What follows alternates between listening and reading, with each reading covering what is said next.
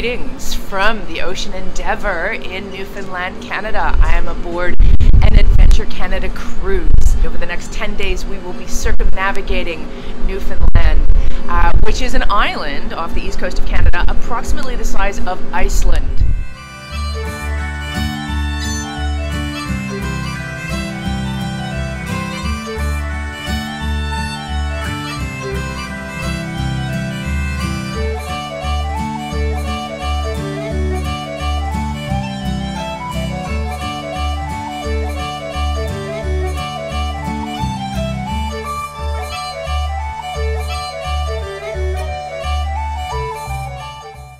Experienced every kind of weather you can possibly imagine, from hail to sunshine and everything in between.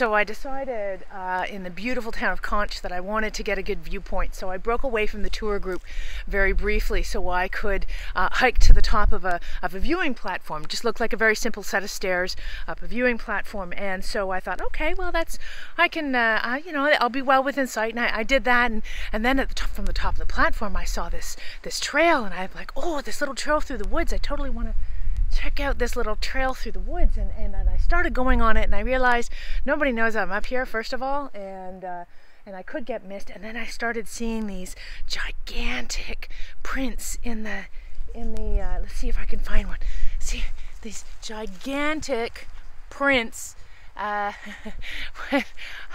I don't know what that is, but that was made by a very large creature that, that could just be right up there right now. And I thought, you know, um, maybe today's not the day for me to um, be mauled by a bear. Deary, deary me, it is a beautiful day in Newfoundland. Then we had dinner uh, hosted by the residents of Conche in their community center, which was uh, fabulous. I mean, how these ladies kicked out dinner, a cod dinner for 180 people, I to this moment don't know, but it was a fabulous meal. We do look forward to when the cruise ship comes. You know, it, it just lifts our spirits and gives us a reason to keep on doing this and, and you know, doing wonderful things. So it's just absolutely wonderful. Then the tables were cleared away and the music and dancing began. And that is when I feel the spirit of Conche and the spirit of a small, tiny Newfoundland town such as Conche could come to life. And come to life they did, and so did a whole bunch of us along with it. So.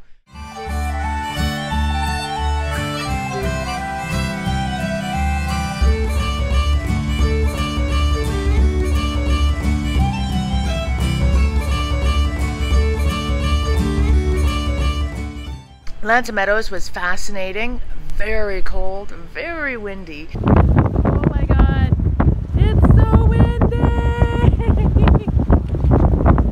but a very fascinating way of seeing uh, the one and only uh, Norse outpost on North America.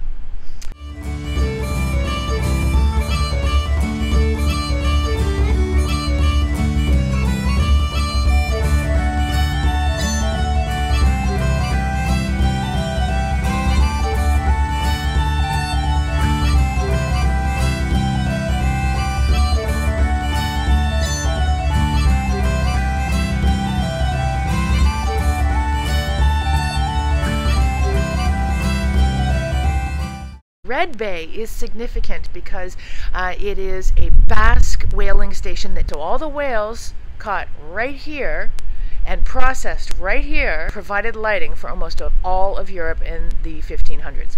Here on Saddle Island we have the ruins of one of many ships that came to their demise in this small harbor during fall storms, often carrying uh, today's equivalent of millions and millions of dollars of whale oil.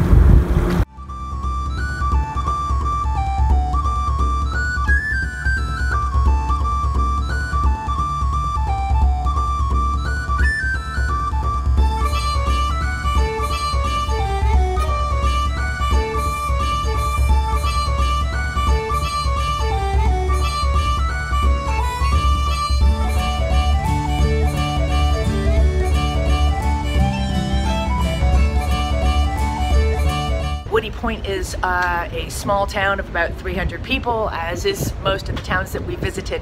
Uh, but what makes it special is it is an access point for Gros Morne National Park. This is our third UNESCO World Heritage Site in three days, which is amazing. What makes Gros Morne National Park special is that it is one of the few places in the world where you can see the Earth's mantle and crust exposed. It was indeed a lot of fun, uh, however, there wasn't much to see because it looked kind of like this. Welcome to Gros Morne National Park in Newfoundland. Now, who is there to meet at Little Garia Bay? Well, not so many humans because there's no town, there's no roads, there's no hiking trails. But what there is is pure, unadulterated Newfoundland nature.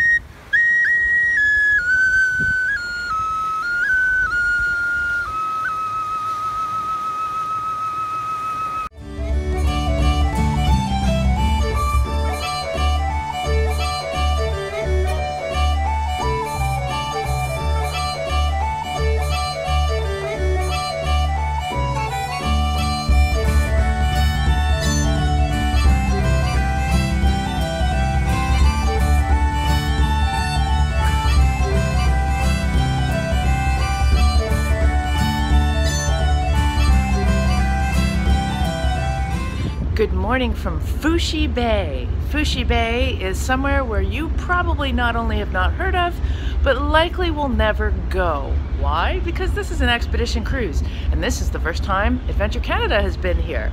So this morning we're going to go for a Zodiac ride, exploring the fjord, uh, and this afternoon we're going to land somewhere and do, similar to yesterday, uh, a little swerve around the landscape.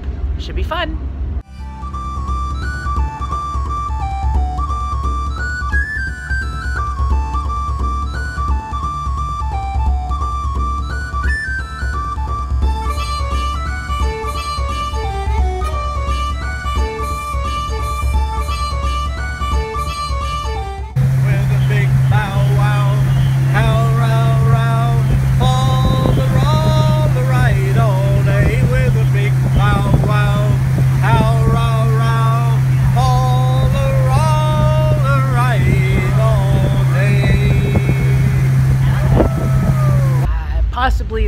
First humans to uh, ever have set foot on uh, this particular piece of land. Now we summited, it was a, an intrepid group of us that summited, we summited that mountain. Now we're sailing away right now. That doesn't look very tall, nor rugged, and I assure you it is both tall and rugged. Uh, we were bushwhacking through, uh, I mean, bushes and trees that were chest height, uh, tromping through streams, uh, mushing through peat moss, and scrambling up rocks. We made it to the very top and then realized we don't know how to get down because up wasn't easy and uh, down wasn't easy either. Uh, but I have never met a more enthusiastic and intrepid group of travelers than the people that I summited that mountain with today.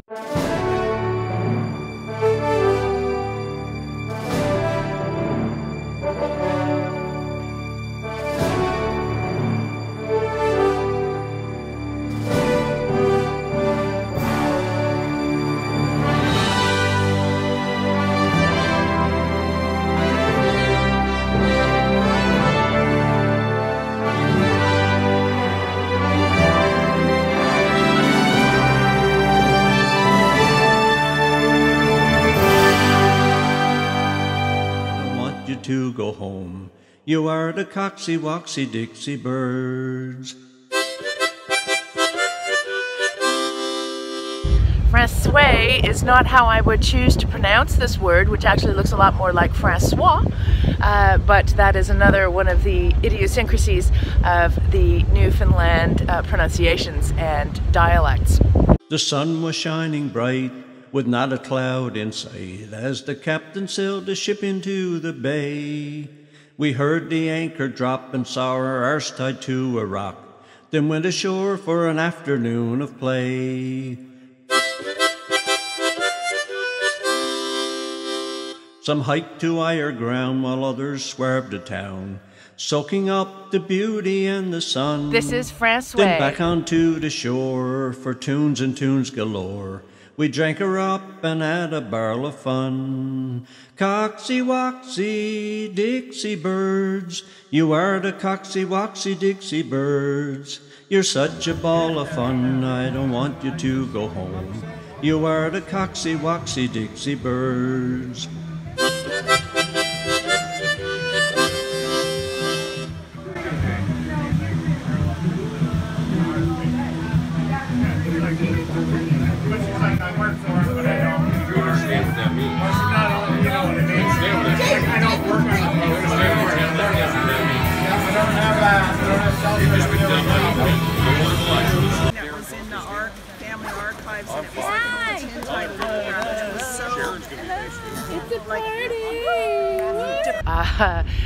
there's something about Francois that gets in under your skin and into your heart. There was something about that hike that we did yesterday, and there was something about that party that we had in the evening uh, that where I experienced a, a form of hospitality that is heartwarming. Heartwarming is the best word for it.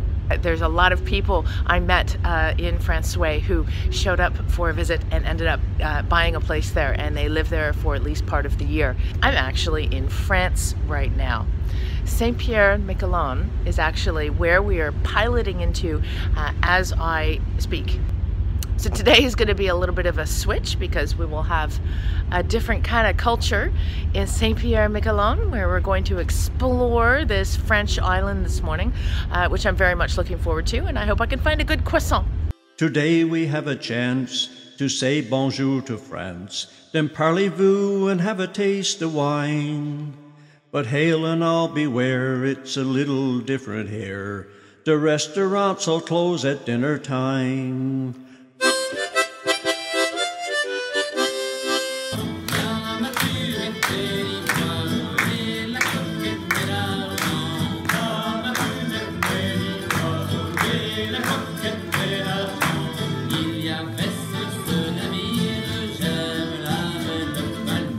You're such a ball of fun, I don't want you to go home. You are the coxie woxie Dixie birds. By tomorrow morning, we'll be pulling into St. John's Harbor to cap off 10 days of sailing with Adventure Canada all around Newfoundland. We've officially made the entire circumnavigation and it, what an adventure it has been. The staff on board were not only a huge contingent of Newfoundlanders, which was amazing to get that cultural experience, but the sheer amount of expertise from geologists to naturalists, culturalists, linguists, uh, and beyond really uh, was amazing uh, and a great experience to connect myself and all the other passengers with the land, the nature, and the people of the place that we visited. So, would I sail with Adventure Canada again? You bet. Let's see where the next trip will be.